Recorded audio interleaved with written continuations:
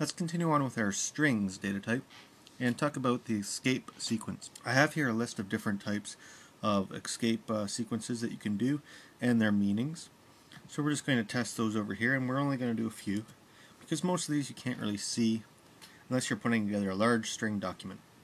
So we have, uh, I have print hello world and I'll hit enter here in the shell. Prints hello world, just like we'd expect. But let's say we have um, print hello world with a slash in it. So let's just do a normal slash whatever and we hit enter. That works. And what happens if we do a slash this way? We come up with an error. Because what's the, what's happening here is this tells the interpreter to actually use this the next character here as part of the string. And if it does that, that means that there's nothing left to close off the string. So you'd get an error. So what you'd have to do is escape this right here by just doing two in a row. And then you would do it, it wouldn't affect this last little quote mark and everything would be fine. So that's sort of doing the backsplash, we're escaping the backsplash. We have new line here, which we'll also give a try, sort of skipped over that. If I just do a backslash and then say new line, now what has happened here is it's gone with the current version of new line, which would just be this backsplash n here for line for line feed. So if you want to do a new line, what we do is just do this n, and you have your new line just like that.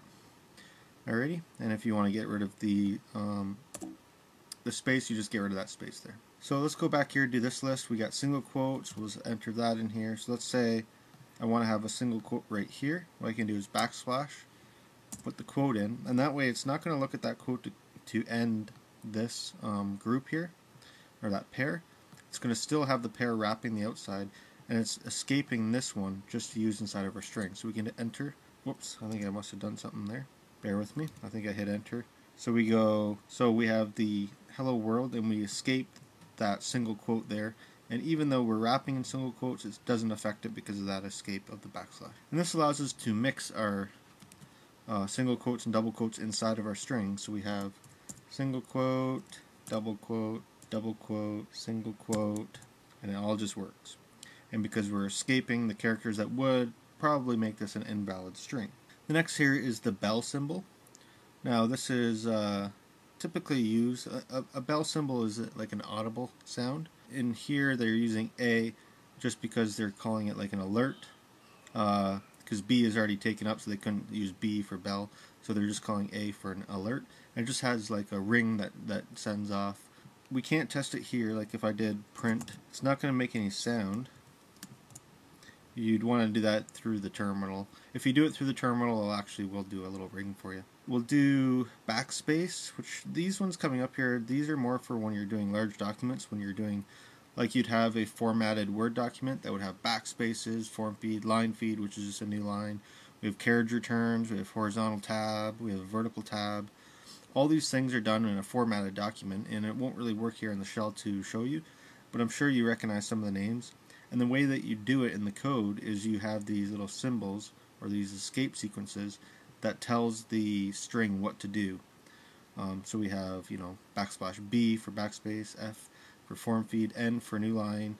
We have uh, T for tab, R for carriage return, and uh, V for vertical tab. And if you ever turned on in your um, Word documents or anything like that, you can actually have a setting where you can view all of these little escape characters and you can see where they're placed. Uh, and it's pretty helpful to see how that all works. We also have some stuff that's just for Unicode only, like character uh, named a name in a Unicode uh, database. Then we have characters with 16-bit hex values we could um, have in here. We have characters with 32-bit hex values right there. We have, um, that's that vertical tab. Then we have characters with octal value of 000. Then we have character um, with hex value of HH. So these are just a whole bunch of escape lines. We're not going to get into in this basic course. The main ones you want to understand is new line you'll probably use quite a bit. These ones you probably won't use in programming Python for what we're doing. We're not doing large string documents, so it's not a big of a deal. Bell you probably won't use. Now these three right here you might get into. Single quotes, double quote, and backslash. If you want those in your strings all mixed together, you may want to be escaping to uh, allow that. And this new line is ignored. You don't use that anymore. You just use this backslash n. Alright, I just want to quickly do uh, one more thing here. I forgot about. We talked about raw strings and Unicode strings in the last um, video, putting an R in front of uh, hello world, right? And that would be a raw string. So if we went and tried to escape something in that, it doesn't actually perform the same way that we were just doing. So we'll do like back uh, backslash, we'll do n for that. Let's hit enter. And you'll see it, the raw string actually doesn't do what, what we think it's going to do. It actually escapes that entirely. And we can do that with Unicode and try doing that. And again, it, it just takes the string as we've written it as a string. It doesn't actually do what uh, the meaning of this symbol right here.